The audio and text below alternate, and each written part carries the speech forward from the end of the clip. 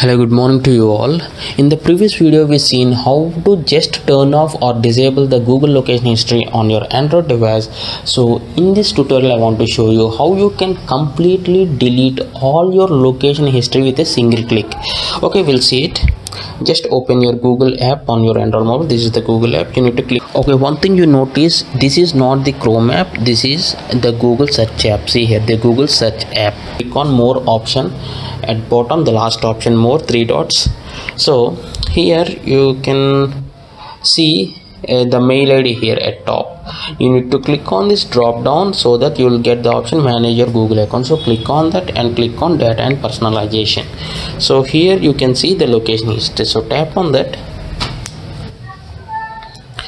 So this saves the location which you go with your devices. So okay. And this is my device and click on manage activity. So yeah these are the places it is showing i have visited. So what if you want to delete all visited places at once? You need to click on the three dots at right top corner and click on settings and privacy the last option. And see here uh, this option delete all location history. Permanently delete all your location history associated with this uh, email id okay? Or you can just set an end date or the uh, start date and end date so that it will delete from a custom range.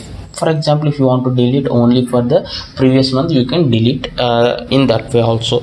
You can delete all history at once with a single click with this option or you can um, choose a range. This one delete all. Delete location history range automatically delete location history date so if you choose this option you are setting it to delete it automatically.